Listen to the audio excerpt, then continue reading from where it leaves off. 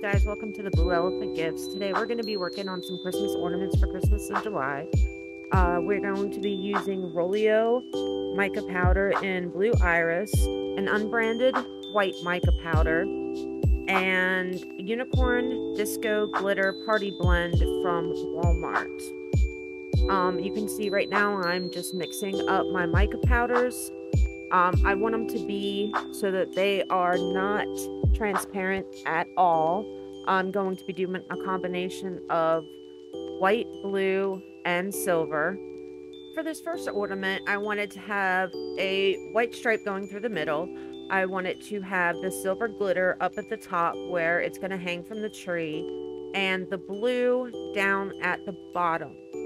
Now for this next one, I kind of want it to look like the snow kind of coming down and falling onto the blue at the bottom um, kind of like it's dripping down. So that's kind of the effect I was going for. Um, we'll see if it turns out once it dries. But as you can see the way I'm kind of filling it so that it's kind of just like dripping down through the middle and the sides.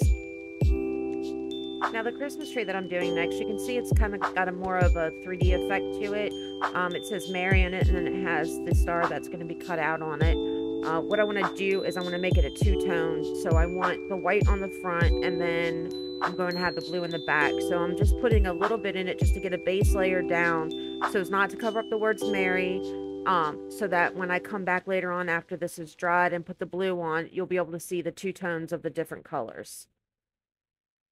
And right now you can see I'm just kind of spreading it out along the sides. I'm pushing the resin with my dotting tool up through the letters to make sure that there's no air pockets in there and the resin gets the whole way through so that the words will show nicely when I demold later on. Now we're going to do the same thing with the bell. It's the same kind of mold where it's the 3D, only this time I want the front to be blue and I'm going to do the same thing with my dotting tool. I'm going around it through the tree um, to get out the air pockets in there. Just drag the resin through so it covers. Um, I going around the little hole for the uh, ribbon. You want to make sure air pockets like to get stuck there and then it's going to have a big hole in it and we don't want that to happen. Um, these molds, I'm just filling up this one with the blue and then I'm to go in and hit it with the white at the bottom. Um, they've got the cute little designs on them, so you got to be really careful that the resin gets into all those little crevices so that you don't get the air bubbles. You can see I'm just kind of squishing it around to get the resin bubbles from sticking to the sides. I'm to make this one here that says Merry Christmas just straight blue. Um, later on, after I do mold it, I'll probably do something with the front of it and highlight that. I'm just giving it a little tap to encourage any bubbles that are stuck on the bottom to loosen up. For the snowflake, I'm just going to put white in the tips. Um, I will go around and do that, and then I'm going to do something else in the center. You'll see here in a second. I'm going to take my glitter and slowly so that it pushes the white that's kind of started to flow towards the front, it's going to push it back towards the tips.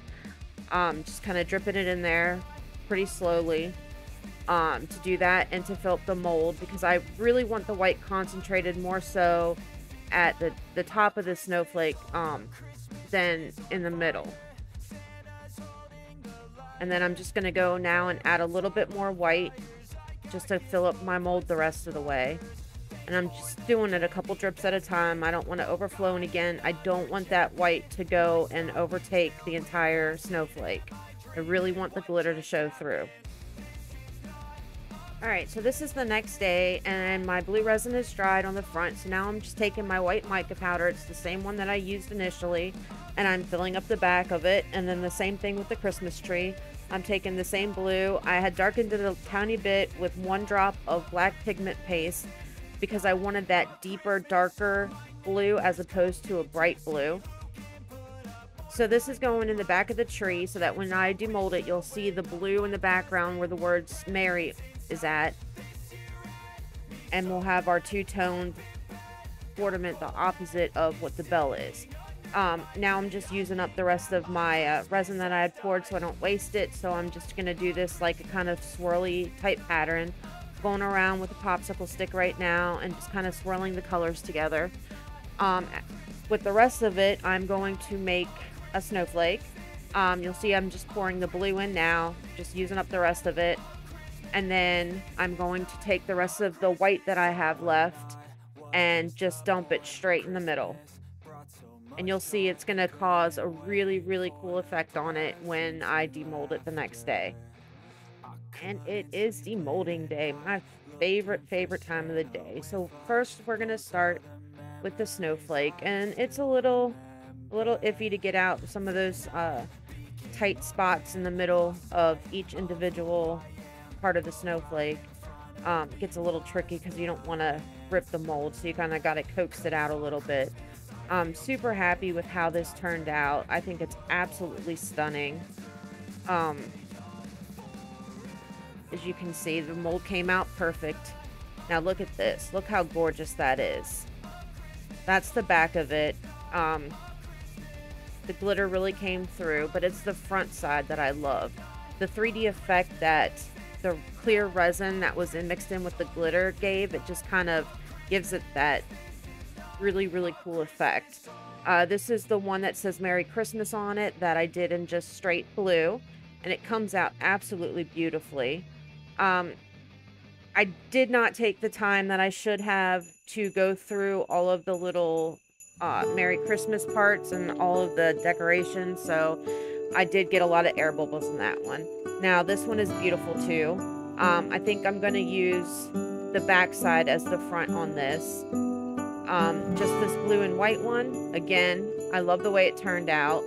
That's the side that I'm going to use. It didn't give the, the effect that I wanted to with the snow kind of falling down over the bulb, but it still turned out pretty. This one, um, again, it's a beautiful mold. It came out beautifully. I didn't do what I should have done and taken the time out like I should have, so I did get a lot of air bubbles in that one as well.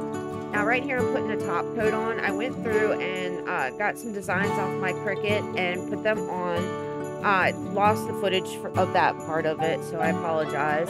Um, but I am doing the top coat on the two blue ones and some other ones that are going to be in another video. Um, so the thing that I did wrong here was I had some other projects going on and I kind of waited a little too long and my resin was getting ready to set.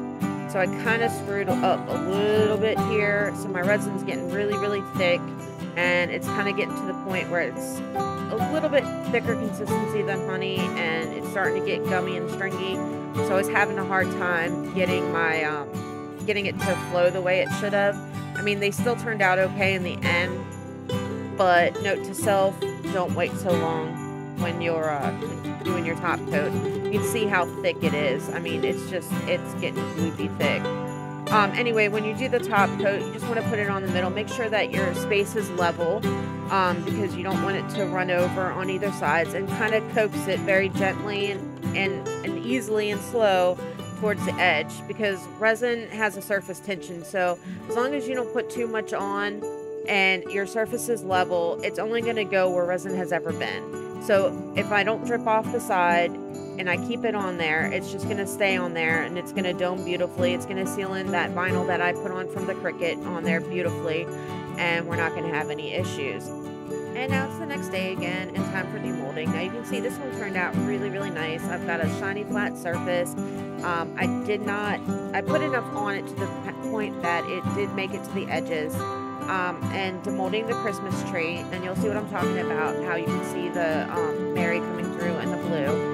Um, it comes out easily. You just kind of got to be careful the star in the middle and make sure that your little knobby thing doesn't get ripped off. But you see how beautiful that looks? And it's nice and two-toned, just gorgeous. And then here we go. This is that extra one that I made. Um, I, I don't have a video of that as far as the vinyl and stuff yet. I may include that in a little short later on. Uh, here's the bell. Again, same thing. Be careful with the little knob that you don't rip it off. Just want to kind of go kind of slow. And there's the Christmas tree, and that one turned out cute as well. I did get a few air bubbles in that I was just showing. And now we're to the snowflake.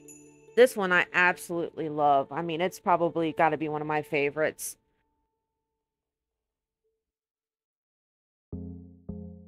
Kind of coaxing it out of the mold right now. Look at how beautiful that is.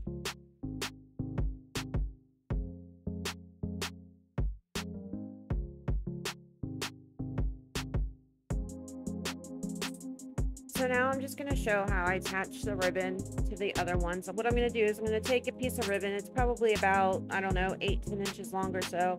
And I'm going to fold it in half and put the folded half through from the back to the front and then just kind of wrap it around.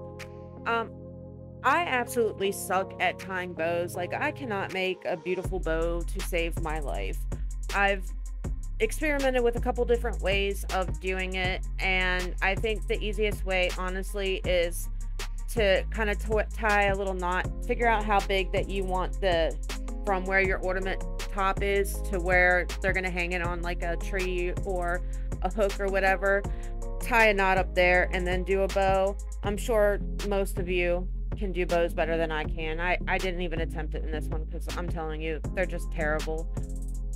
Well, guys, that's it for my video. Thanks so much for watching and learning with me. And if you stick around right after this, I've got my glamour shots. Thanks again.